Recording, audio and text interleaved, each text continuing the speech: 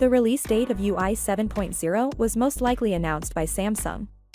Every year, between October and December, they typically release a new version of the user interface.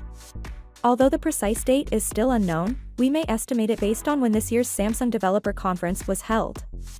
October 3, 2024, is the day of the Samsung Developer Conference SDC 2024, which will take place in the San Jose Municipality Convention Center in downtown San Jose, California. Samsung may demonstrate all of the new features of One UI 7.0 during this annual developer event and begin rolling it out to phones soon after. Samsung may follow suit this year. This year's SDC 2023 was held on October 5th, and they released One UI 6.0 to phones later that same month.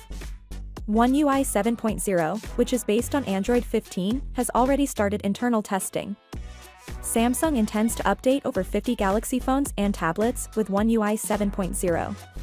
Additionally, Google recently announced that Android 15 is now stable and released a new update for the operating system dubbed Beta 3.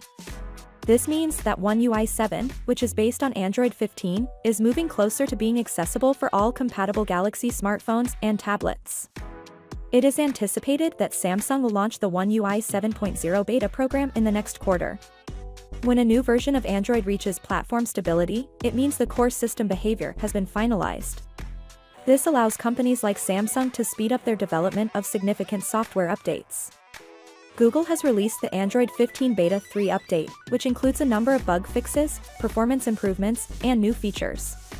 So it is likely that Samsung will now speed up the development of One UI 7.0. Based on the company's track record, we can anticipate that the One UI 7.0 beta program will begin in the third quarter of this year, with a stable release of One UI 7.0 occurring in the fourth quarter. If you have an eligible high-end Galaxy S Galaxy Tab or Galaxy Z series device, you will be among the first to receive the One UI 7.0 update. Finally, what are your thoughts about it? So without been said let me know your thought in the comment below, and if you are new here please subscribe peace out.